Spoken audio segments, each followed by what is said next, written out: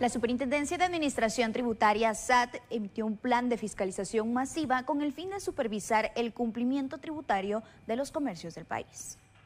Durante noviembre y diciembre, 200 auditores realizarán cerca de 70 mil inspecciones a comercios, ventas de pirotecnia, centros nocturnos, entre otros, en el cumplimiento tributario, lo que podría generar multas o cierre temporal de los negocios.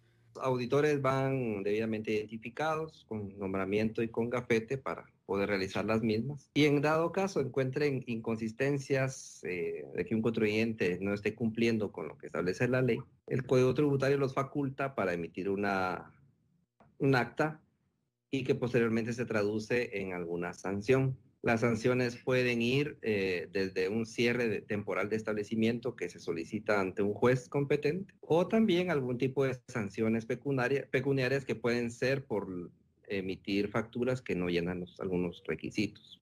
Porque hay muchos emprendimientos, entendemos, muchos emprendimientos que han nacido a raíz de la, de la pandemia y por desconocimiento inician con sus ventas y con, su, con sus gestiones de servicios.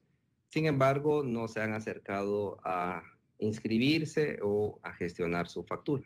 En 2019 se impusieron sanciones que sumaron 25 mil quetzales. Para ello se da a conocer el número 2362-7534 para consultas de los contribuyentes. El personal de la SAT estará debidamente identificado.